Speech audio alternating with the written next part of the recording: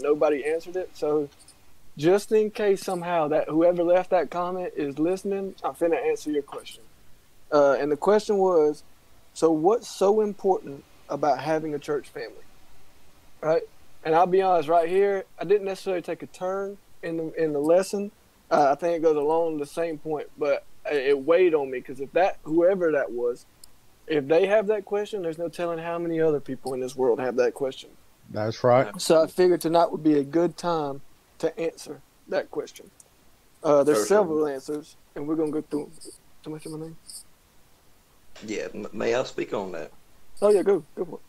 Oh, about a year ago, you know, when I decided to, to allow God to, to work on me and I took a stand and a walk with Him, uh, I didn't know the importance of do not forsake the assembling of the brethren. And I was with, honestly, now, from what I've grown to know, worldly type people, you know, and that not being judgmental or poking any blunt at anybody, but they were, you know, they were ways of the world. But uh, ultimately, through the end, God did a lot of separating with me from certain ones like that. But at the same time, he's also done a whole lot of healing and within my immediate family.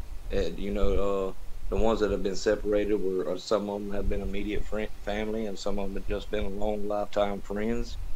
But uh, ultimately, in the end, you know, and y'all guys, open, y'all know very well that I've openly admitted to y'all that God has ultimately showed me the importance of of of the brethren because in the end when I run back to as what the uh, preacher has said past comforts I wind up finding myself back in the worldly ways overwhelmed consumed fearful uh, shameful being starting to enter into sin but yet when I go to the brethren which is what God has led me to these guys ultimately when they go through God, it's a whole different demeanor, and the outcome is a whole different demeanor.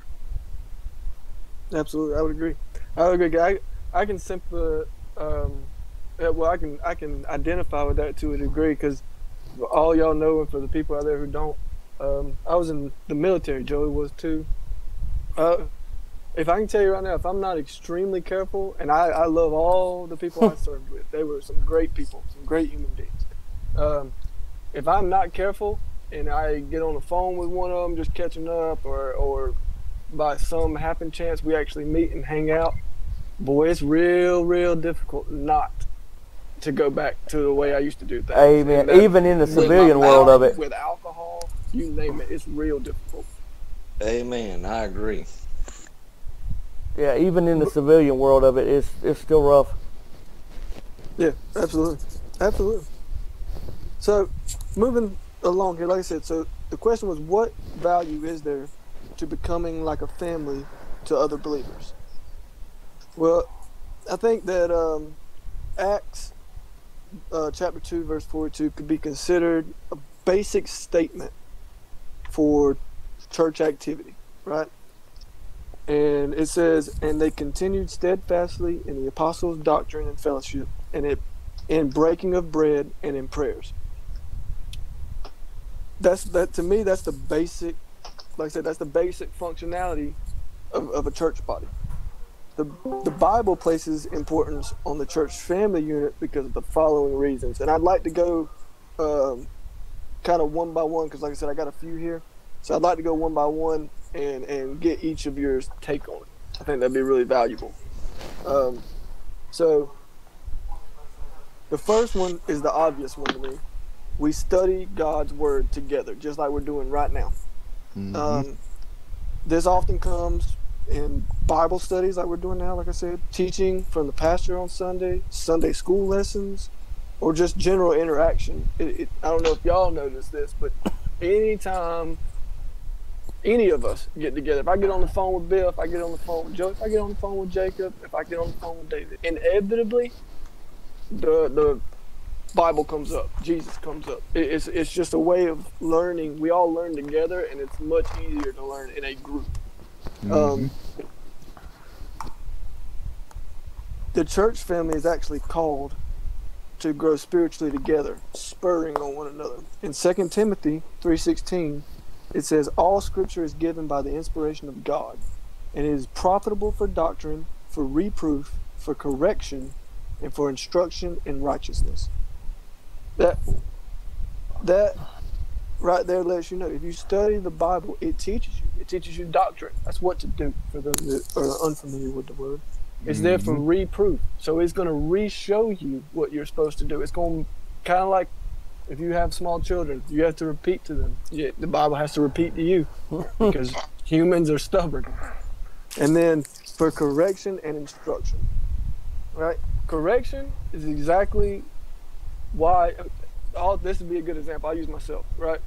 I know I told Bill. I'm pretty sure I told Joey, and I know I told Jacob specifically on this lesson that I was concerned with all the verses that I was putting in here individually because I didn't want any of them to be taken out of context, right? Right. The correction part of this, and this comes from being in a church family, is I was very comfortable coming to all of you saying that, and I'm, at least I'd like to hope I said, y'all please correct me if I do it wrong. If I say something wrong or out of mm-hmm. context, please correct me because I don't want to misspeak. That's what a church family's for. That's It's correct. to keep you in line. Agreed. So like I said, that that's just the first part. Like I said, I'd like on specifically on the the we study God's word together part of being in a church family. If anybody's got anything to say like that, I'd like to hear it. Well, well, here's you an example. I know our preacher gets frustrated every now and then, but his daddy Ray is often interjects on the same topic, and it might be um uh what a bad timing maybe because preacher will be on a roll or whatever. But that's exactly what you're talking about. That's it's that's exactly what you're talking about. I, I agree. That's, that's true. And uh, it's it's it's total to build one another up. Yes, there's there's anybody that's taking the word of God and studying it, from the pastor to the congregation. There's things that you're gonna you're gonna get out of the message or out of the word of God that whoever the person that studied does not get, and it's for edif- it's for edification. Absolutely, absolutely. Anybody else before I move on to the Um, next? I'm trying to think of the right word here. Um, justification. That's where. Um, back to the topic of, of the the interjecting during Bible study. Um, I find it fascinating when it happens. To be honest with you.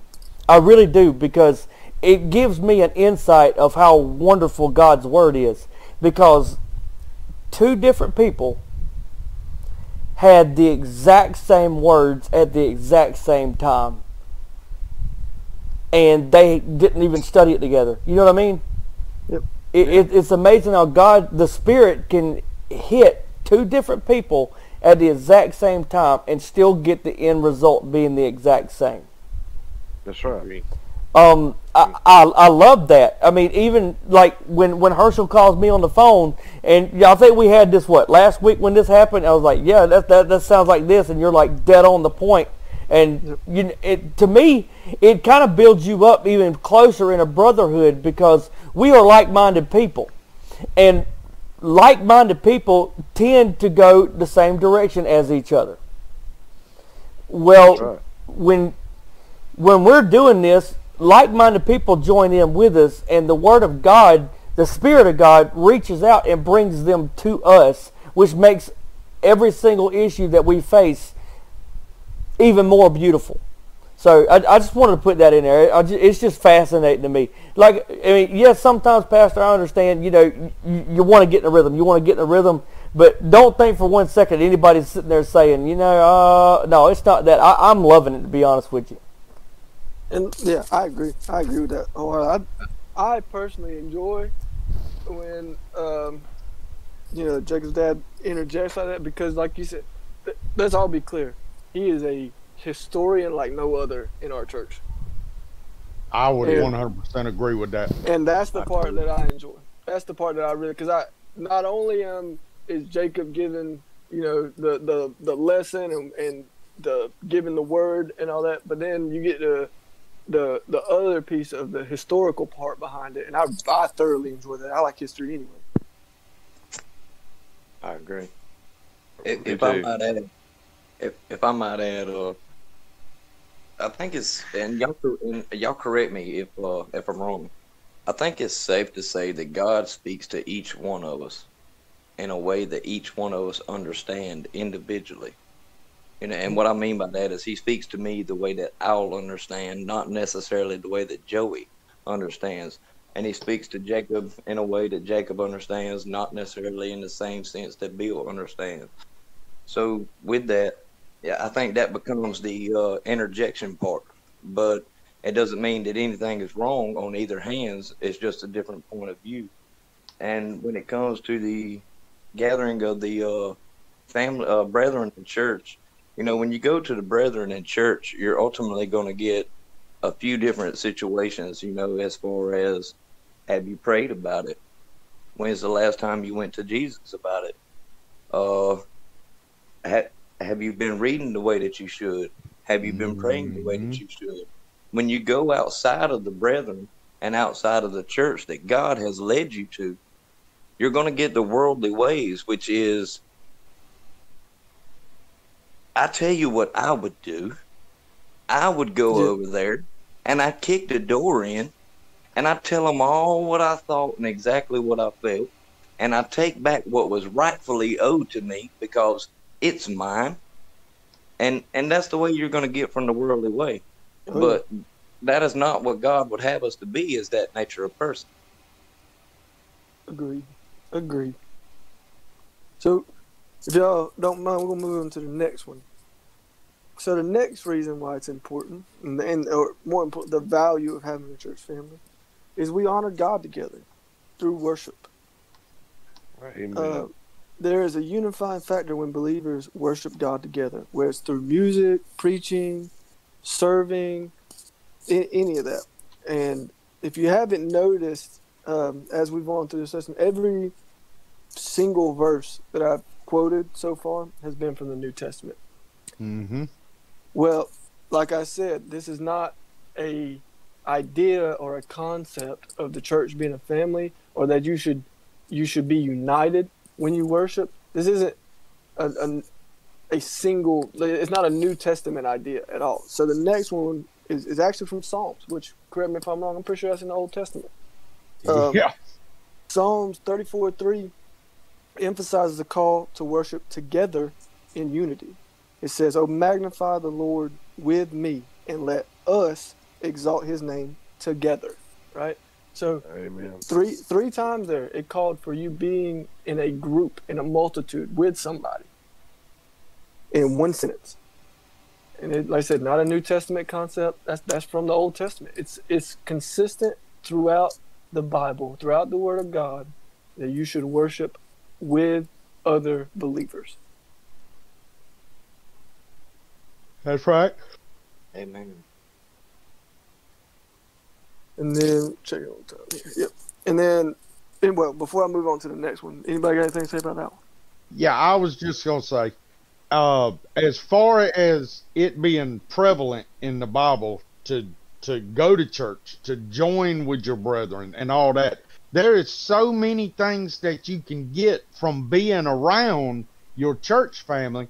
You know, when the when the world does go to weighing on you, and let's be honest, if, if all of us in here can be honest, including our preacher, the world will try to weigh on you sometimes. And if you ain't if you ain't sharp and you don't keep Jesus Christ in your life where he's supposed to be, the world will get a hold on you again.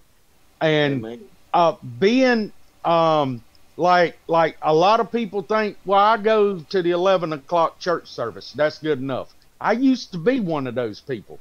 You are missing half of god's blessings by not going to sunday school and not coming back on sunday night and then not being on there on wednesday night.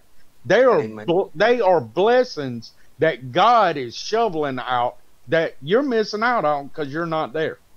Well, Bill, And- it's kind of it's kind of like this. It's like you're filling, you're taking a car, and that that you're driving, and you're only putting a quarter tank of gas in, and you're Right. trying to go just as far as you can on that quarter tank of gas. Where if you would have took the time to have